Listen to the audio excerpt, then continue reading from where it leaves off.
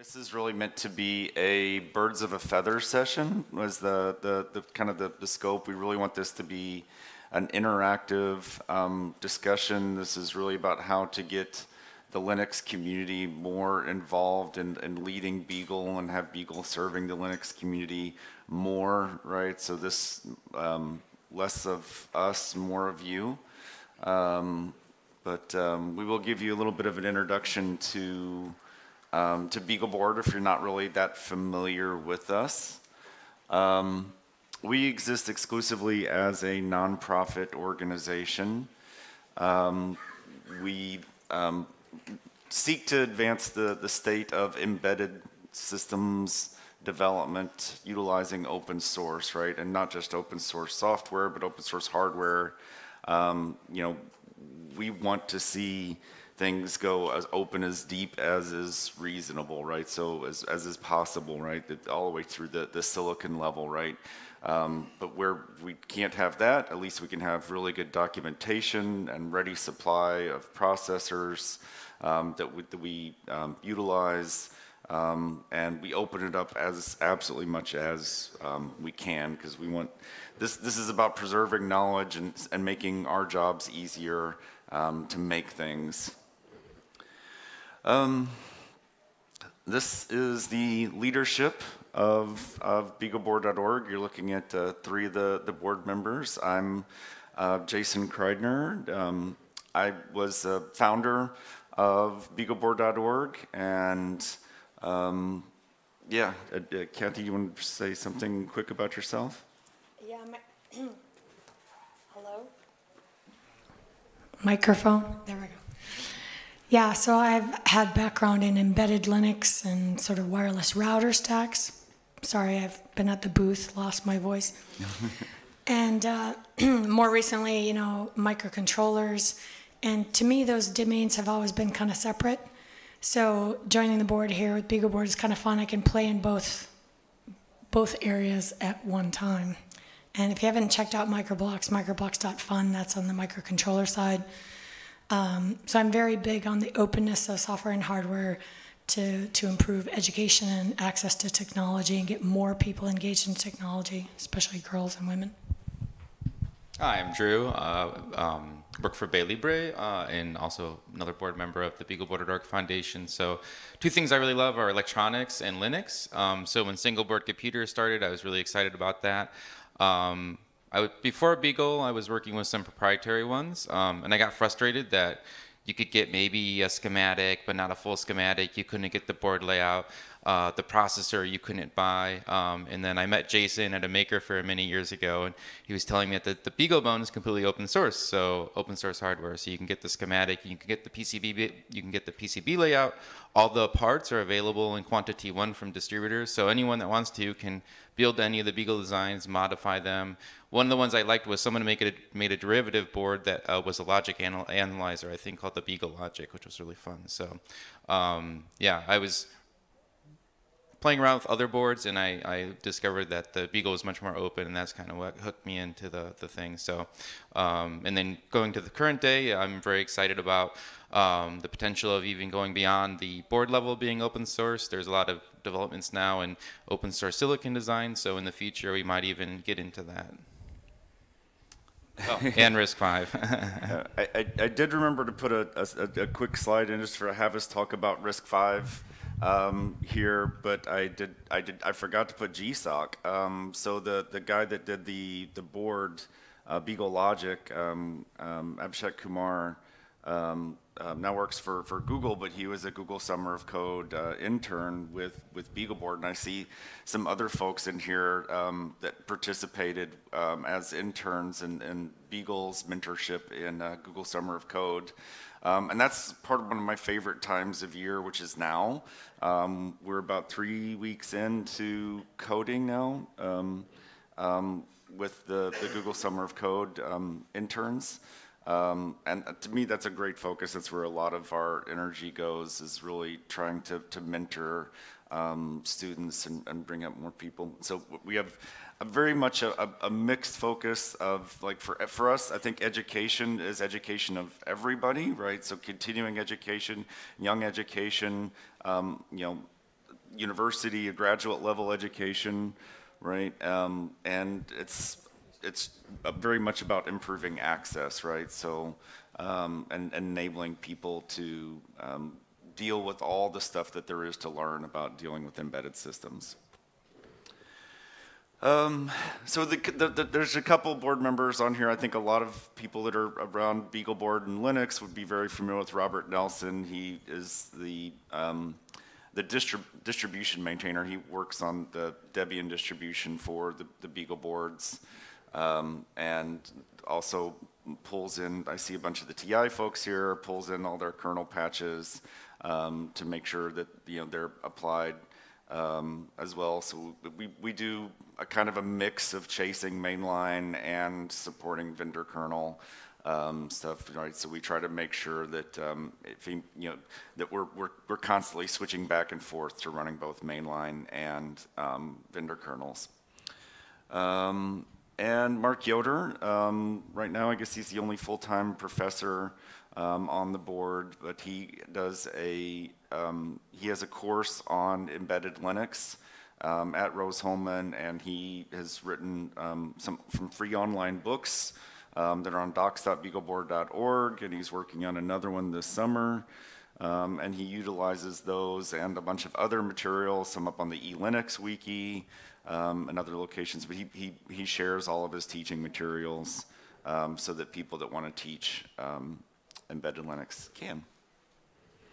Anything else about the leadership? Any questions about the the board or, or, or CEO or um, how how BeagleBoard is run? Like I said, it's it's it's a it is a 501c3 organization that um, um, supported primarily through um, royalties, but also through donations. Which is a nonprofit. In the U.S. Yeah, oh, yeah, that's, it may not translate, yeah, so it's, um, a, uh, yeah, tax exempt nonprofit. Um, so if you made a donation, um, if you were in the US, um, you'd actually get to not pay tax on that, those, that money. Um, so what makes Beagle special? Um, we're not just about making cheap computers. Um, we want to make computers that you can make into other things, right? Ultimately, things that don't look like a computer, they just look like an appliance that just does the job and doesn't make technology get in your way or um, run a platform um, that serves some other interest, right? We want to give as much power to the individual as possible, um, which also means not um, preventing them from going to, to, to business, right? You know, so actually sell, making and selling things. Um, and so, you know, our community um, in general is a very entrepreneurial um, um and um, domain expert, um, you know, heavily, heavily expert in, in building embedded systems. and a lot of what's kept BeagleBoard really exciting for years where we haven't maybe done a lot of updates to the, the, the, main CPU cores that we're utilizing is that we mix both Linux and uh, microcontrollers and, and ultra low latency microcontrollers in one platform and we can do lots of new amazing things with that like um, the CNC mills and, and lighting and um, um, audio like low, ultra low latency audio um, the types of things that you want to do in an embedded system where you're doing real-time control, um, hard real-time control, and you know all the fun networking and amazing things that come from Linux. Um, yeah. Um, and it, you know we've we've kind of been everywhere. Um, you know when a Raspberry Pi goes into space, you know it's big news. Um, when a BeagleBone goes into space, it's Tuesday. Um, there's like actually satellite networks and um, built out of there's people doing space operating systems and people building their their CubeSat frameworks off of off of off of Beagles. Um, yeah. Um, so lots of people have written books. Um, most of these on on on BeagleBone Black. Um, but I think that with some of the new stuff that we're coming out with, we're going to see a lot of new interest and new um, new people getting started with uh, Beagle Play and Beagle Connect Freedom and a lot more materials coming out on those. Um, and of course, there's been just hundreds of um, add-on board systems that have come out, mostly uh, open source, not all, but, um, but you know a large uh, chunk of them, people creating more open source hardware. Um, and you know something I'm especially proud of is that the the Linux Foundation um, has historically used Beagles as their their platform for teaching um, embedded Linux, and I know um, some other folks in, you know here have, have worked on teaching materials. Um, yeah, there's one there, another book author at the back of the room, um, uh, and, and, teaches courses with BeagleBones. Um, and, um, you know, yeah, even the Linux Foundation in themselves uh, do that as well. And of course, you know, there's people create projects all the time and share them. This is a, a I think, a kind of a fun project that came out of the Jet Propulsion Laboratory. Um, and I just kind of saw this on a National Geographic blurb. Um, and I've, this, this, is something that actually has happened to me fairly often. And when I see a BeagleBone Black, I notice it immediately. Um, um, but six seconds into a National Geographic special, there's like, boom, there's a BeagleBone in their Mars rover prototype. Um, they never talk about it, they never show it again, um, but they do drive it under the Arctic ice um, to simulate environment um, as, um, on Mars. Um, and then people like you know go to school, they learn all about um, you know how to build embedded systems, Beagle, and they come out and they, they graduate. They do things like this, like um, make the world's first cheeseburger robot with 14 BeagleBone blacks, and so the, the, these guys um, tell me that they would never allow a PLC um, to be utilized in any of their designs, right? They, this, is, this is the model that they use is BeagleBones. Um, and so there's just a lot of different, the, the, the base, the user base um, for BeagleBone is really large and a lot of people doing a lot of different things. Um, even building um, in products, even ones that require safety certification. Um, so Dremel um, actually puts BeagleBones into their laser cutters. Um, and you know, it may not seem like such a, a, huge number given some of the other things, but we've sold over six million boards. Um, and so all the, the um, BeagleBoard doesn't get the profits, but there's a, a royalty um, based on the utilization of the logo for people that manufacture it with the logo, right? If you wanted to just make it on your own, you can do that, and a lot of people do. Um, a huge portion of the designs that come across TI's desk actually start with the BeagleBone as a design, and then they modify it. Um, and, and that's where a lot of people build their custom systems, but if they just want to buy one off the board, just don't blame me, right? You've got the design, you've got all the, the, the data sheet materials, don't blame me if it doesn't work. You had everything you needed to test it and validate it in your use. Um, but we've done some new things. We're not just stuck on ARM Cortex A8 anymore. Okay, that's, that's something that I think um, a lot of the embedded Linux um, community doesn't know is that the Beagle has moved past Cortex A8. 64 bit. Um, so this is this was the first 64 bit uh, Beagle board, the BeagleBone AI 64, um, which has a, an, an, eight tops neural net accelerator, um, and finally good um, support for those accelerators in Python, um, and the accelerators themselves um, are like with there's there was GCC support for the C6 DSP that's used for, for part of it. Um, and the C7 does not have GCC support, but there is a tool chain. We actually ship a ARM-hosted tool chain for the C7 um, processor that's running most of the, the neural net processing on the board, right? So the thing about Beagle is we try to ship the boards with all the tools you need to develop for the board on the board. Um, right? So if you want to program the C7 DSP, all the tools you need to program the C7 DSP are actually shipped on the board. Um, you plug it in, you log in, and you can begin programming the C7 DSP. Maybe a little bit of a learning curve, um, but it's possible. Um, and most of the source um, for those are released from TI. I'm not aware if there's any limitations in terms of what's uh, um, opened up um, source-wise for the, the neural net accelerators. My understanding is it's uh, they, they provide all of the source for that. Because yeah, yeah. Um, Yep. So um, if you want to get dive deep, um, you know, yes, um, the, the technical reference manual is over 10,000 pages, um, but better to have it. That's good. That's good.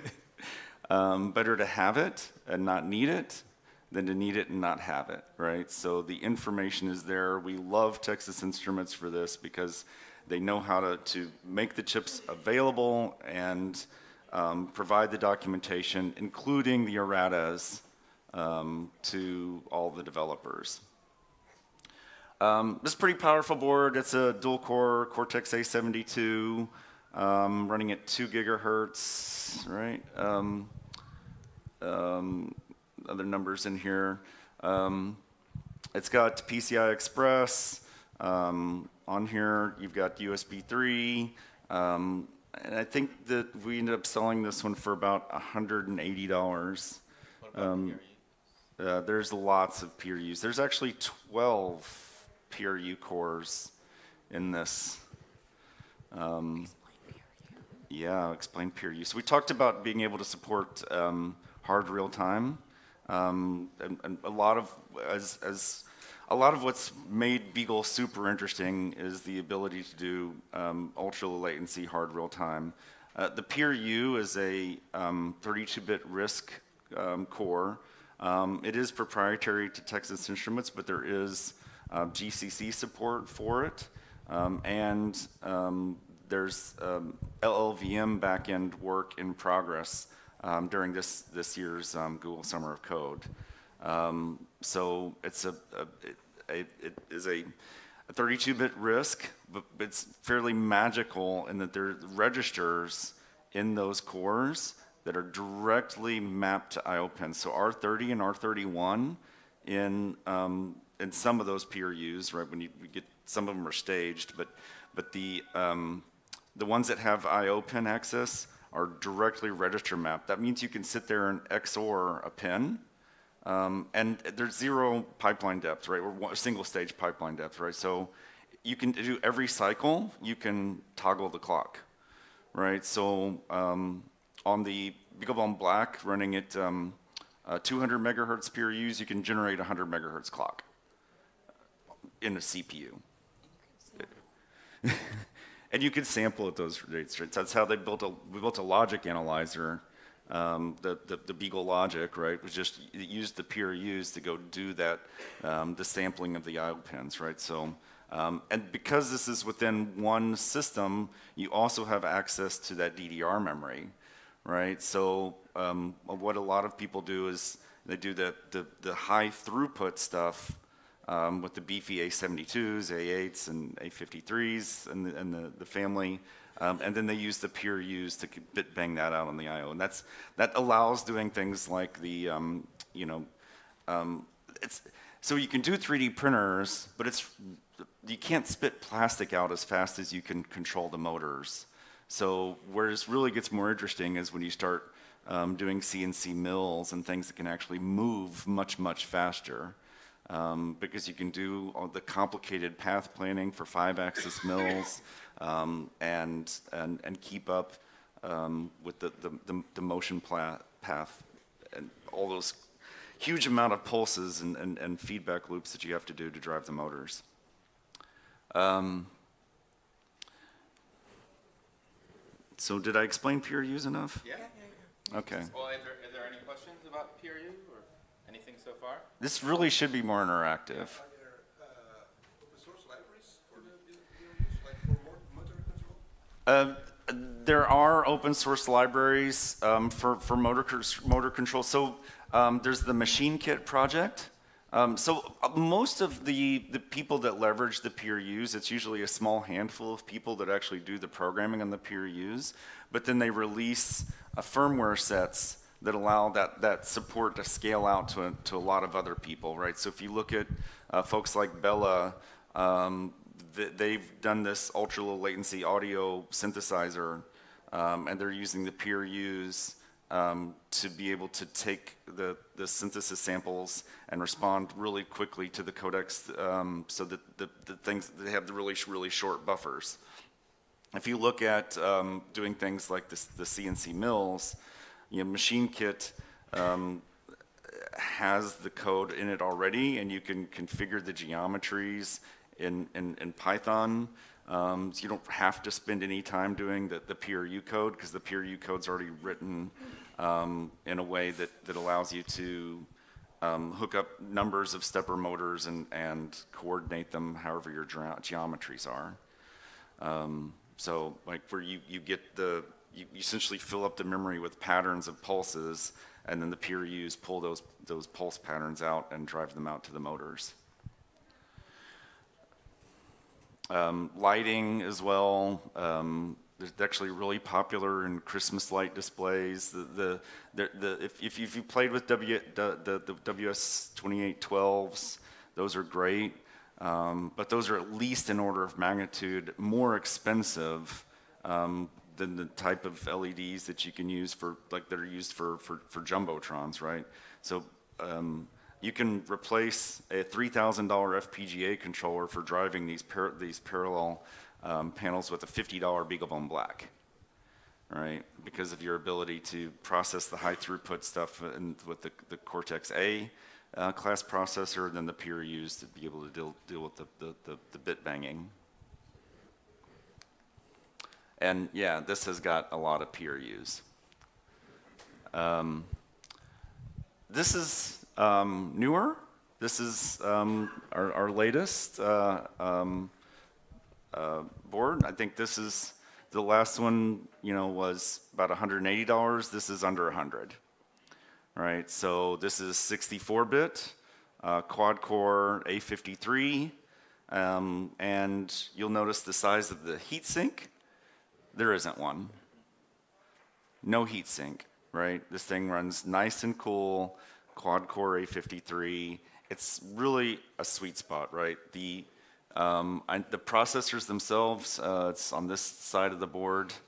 Um, I, I, know that you can look at the um, there there are variants of this that you can look at on TI's website that are under five dollars, right? Um, and I'm not sure exactly which, maybe a, thou, a thousand quantity. Right there, there, there's it's a very it's this is finally the replacement for the AM3 that we've been waiting on for a long time, and it's real, right? So we're no longer stuck um, in the Cortex A8 32-bit ARM world, right? We are um, fully into 64-bit um, world. So we've got a little bit more memory on here. We've got the, the, the two, two gigabytes of RAM and 16 gigabytes of flash. Um, and we've, you know, the processor is obviously tremendously faster. This one has a two, two PRUs on it, um, and it's also got an M4, and so the M4 is um, accessible for programming um, as well. Um, so, yeah, there's that. Um, and I think we've done some really interesting things with the connectivity on here. Um, there's under here is uh, CC1352 um, P7 microcontroller. This also has an M4, so the main processor SoC has an M4 in it, um, but there's an M4 out here in the, the wireless processor. Um, and it's also got an M0 in it for, it's essentially a software-defined radio. Um, and you can do uh, 2.4 gigahertz stuff, so you can do stuff like Zigbee and um, Bluetooth Low Energy um, with that. Um, but you've also got sub-gigahertz, right? So you can talk to devices a, a kilometer away um, and you'll get you know a reasonable amount of, of data throughput, right? Um, so some people talk much much further than that, but that's kind of how we how we've tested it as the, as the, you know a kilometer um, in open air. Um, What about the GPU? Oh my, that is a good one. So, um, I, thank you, Nishant. Um, so we now have. So it's still an imagination Power VR GPU, but something's different. Um, we've we've TI has made an agreement with Imagination to release an open source GPU driver. So um, both the kernel and user space, no user space binary blobs. Um, it's still, yeah. Um, finally. so um, this this is leading the way with uh, OpenVR's um, open source uh, GPU stack um, and, and, Linux. So um, it's on the release candidate three right now. They're still working on um, a lot of the compliance, but that work is moving on and uh, I think in a lot of ways it's usable and functional now, right? But um, I think for getting Mesa and all and all of the Vulkan compliance stuff, there's still a fair bit of there's a lot of work left to do, um, but it's real now. Um, so yay. Um, yeah, so I, I, I tend, I'm so used to just pretending we don't have a GPU. Um, because the last thing I want to do is talk about one where I have to use closed source binary blobs in, in, in Linux, and um, no more. Um, Since we're talking multimedia, sorry, thank you. Uh, Since we're talking multimedia, I see you have a CSI2 connector for, I think, the first time on a Beagle board, or was that also? no, actually, there's two CSI connections on uh, the BeagleBone AI64. So um, an AI64 has some, some reasonably powerful um, image signal processors or ISPs um, on it. So it's definitely something to note uh, that Beagle Play and the AM62 do not have integrated ISPs. Okay, So I think like utilizing something like um, libcamera and using maybe either GPU, um, well, that makes to me it makes the probably the most sense. You like actually doing GPU acceleration uh, to perform the, the the image signal processing functions um, would make a ton of sense, right? So it's got the the f- a four lane CSI, um, but uh, no ISP. okay, and the CS2, CSI2 connector in the Play, is that compatible with Raspberry Pi cameras, or is that not? It's the 22 pin that you'll have on like the Okay. Pi Zero. smaller Um, one. And so it's the four lane version, um, right? So it's this, it's, it's the same connector footprint, right? But I think they, they seem to be focusing more on the, the lower pin count two lane version. Two-lane one. Um, right, but, uh, we didn't want to do that. And, you can get, there are people that make the ribbon cable, so you can get to the, the, the two lane version, uh, if you want to use the Pi cameras. Okay, so Um, let me but software work to be done, right? So So let, let me also ask, what is the ISP support current status for the uh, the bigger board? Not, not uh, the AI, the the, the, the AA AI sixty four, um, there are ISP loads for a number of fixed cameras, um, but they did not. The, the, they're blobs. They're binary blobs that you run on the M4s that that work with the accelerators in that subsystem. Um, they're not. Oh please! Oh, you're going to tell me they're going to change that? Please tell me you're going to change that. I see TI folks raising their hands. Yeah, so we have an intern actively working on lib camera support and an open V4L2 driver for the ISP. So it will work for Beagle Bone AI64 as well. So using the accelerator hardware, so like the, nice. Yeah. Oh. Chris? Hi, I got a couple of camera, uh, a couple of cameras, no, a couple of questions uh, from the uh, uh, from the streaming chat. So the first one, the question is, hang on, I put my glasses on. Um, yeah, would, can you say something about the um, the Beagle 5, the RISC 5 version? I, we, Um, we do guy have a, says, uh, when will it be available? I've been on the list for over a year.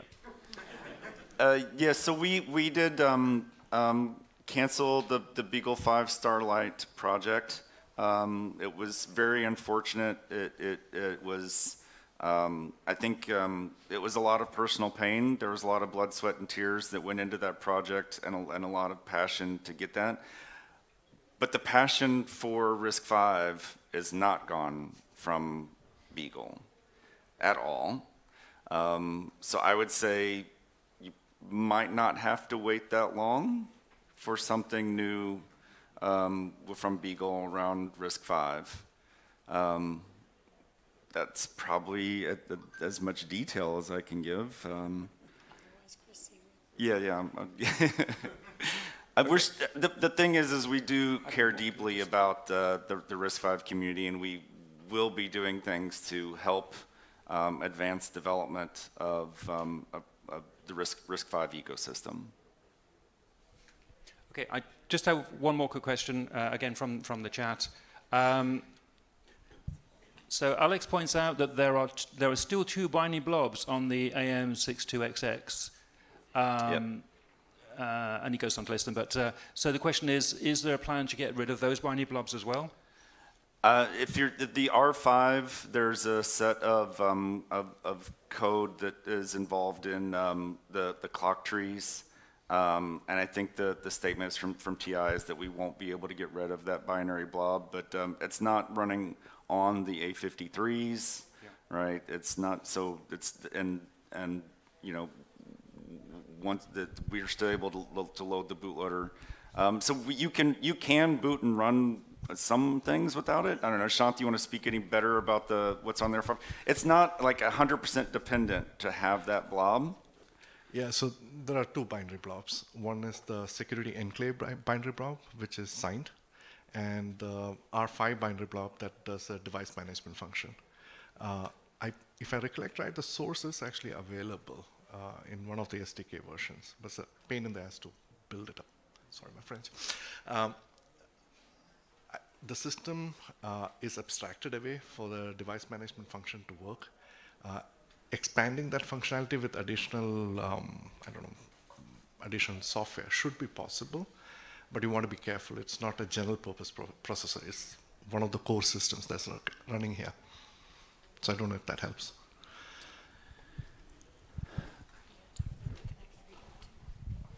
Yeah.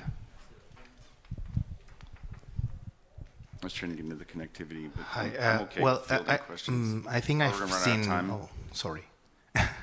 I've seen uh, maybe a, a single pair Ethernet in the in the Beagle Play. Yes. Could you give more details about uh, about it, uh, especially if it uh, it's uh, MACsec capable of doing offloading or or PTP capable?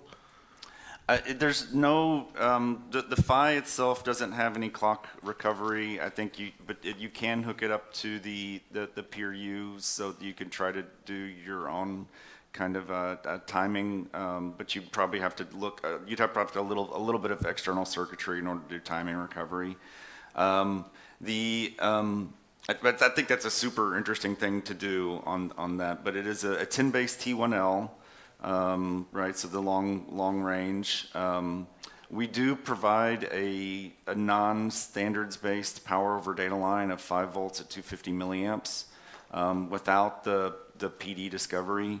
Um, so there, you just have a software mechanism to essentially turn that power on the lines, mostly so you could hook up microcontrollers to it over fairly short distances um, and, and and, and drive communication to like a, a, a string of, of, of microcontrollers, right? That's the that's the kind of the vision there, um, and more to, to kind of experiment with power over data line, right? If you want to run the real long distances, you're going to want 24 volts, and you're going to want the the, the power to discovery. Um, but While Jason speaks about the technology, I just want to provide some ideas. People have phone lines, uh, phone cabling in their houses that isn't being used anymore. You could use it to wire up you know, microcontrollers or some other sensors in your home.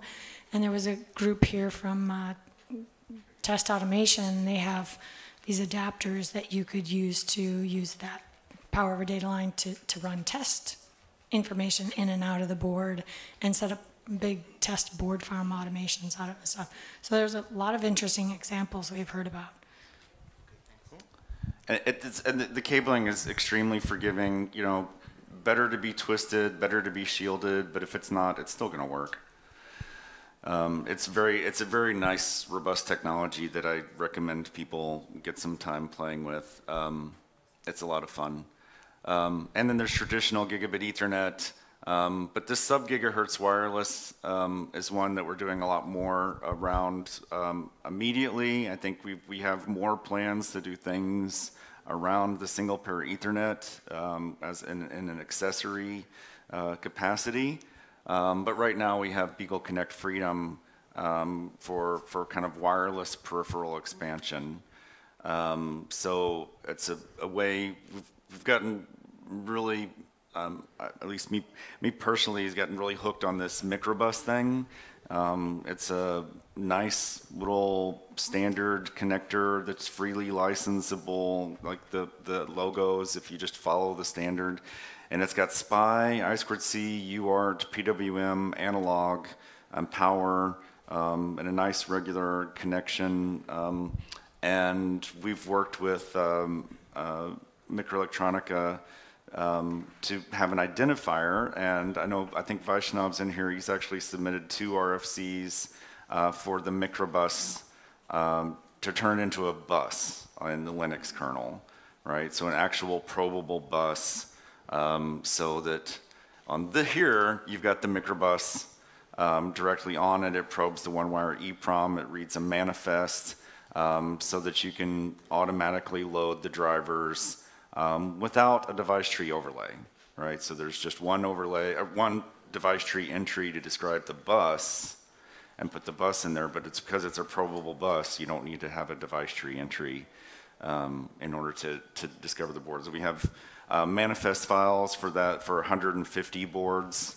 um, so far out of the roughly 1,500 um, that, that MikroElektronika makes.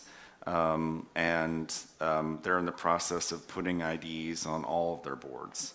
Um, so um, I think that's a very promising thing to help move along the IIO subsystem and all the all the sensor stuff inside the kernel.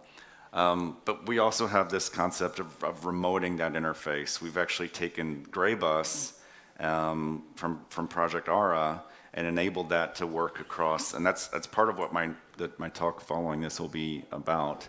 Um, uh, so that you can, you can actually get that microbus and auto discovery and everything to work um, remotely over there so for making sensor networks. Um, and we, so this is the, the board as it ships right in the enclosure. There's a slide to remember to talk about RISC Five, check. Um, talked about risk microbus. We didn't spend a whole lot of time talking about AI. We did mention that we have an 8 TOPS accelerator on the AI64 supported by the Python libraries. That's NeoDLR, um, ONNX, and um, TensorFlow Lite, um, and an open stack briefly touched on Greybus. Yeah, I think we kind of kind of hit stuff. Um, we get a lot of interactive discussion, um, but we'd like to carry that discussion forward um, on and, and actually get some guidance from the the, the, the Linux community. Um, we've started a Discord recently. Maybe that's a little more accessible if people don't like IRC. IRC is still a great way to get in, in touch with um, a number of us um, you know, to just chat online. Um, but you know, we've started a, a, a, podcast. We're happy to have other people come and talk on that. We want to do blog. We want to talk about what you're doing, um, and we want to try to find ways to make ourselves more accessible, um, so that you can get inputs on what we're what we're doing in the future. I think we have two minutes, so if oh, there's okay. quick questions, uh, is there any questions? Uh, yeah. What do they want? You can tell us now what you want. uh, you said that the uh, sub-gigahertz radio on the Beagle Play is sort of like a software-defined radio. So is there support to build our own protocols with that radio? It support so the TI Simple Link SDK um, does have the ability to kind of you you can um, you mix frequencies and modulation standards and change the, the way that the, that radio is performing. I'm not, uh, I'm speaking a little out of school, um, but it does, and it supports they've, they've got software loads for Amazon Sidewalk and um, Wi-SUN and a number of different, uh, these things, but I, I don't necessarily like using that code too much. Whatever gets integrated into Zephyr um, and exposed through Zephyr is something I'm far more comfortable with, but I think those are the more knowledgeable might work on um, expanding those features out. And you can, there are some ways to do some patches on the M0 that's actually kind of, you know, driving the radio modulation. Um, but I'm, you know, right now, as far as I know, they just publish entry points into the ROM code, um, not a full stack. Think of time for one more quick question Or suggestion. or suggestion. Any beat uh, replacement for the Pocket Beagle to do 64-bit? Ooh. That sounds like a really great idea. Awesome. Come, you can, yeah, feel free to come talk to us at the booth. Um, we're booth number one, right at the coffee break as, as you go, um, towards where the, the, the paid uh, bar is, right? So, um, yeah, go that way. Out here and to the left, all the way to the left. Thank you very much. Really appreciate your time.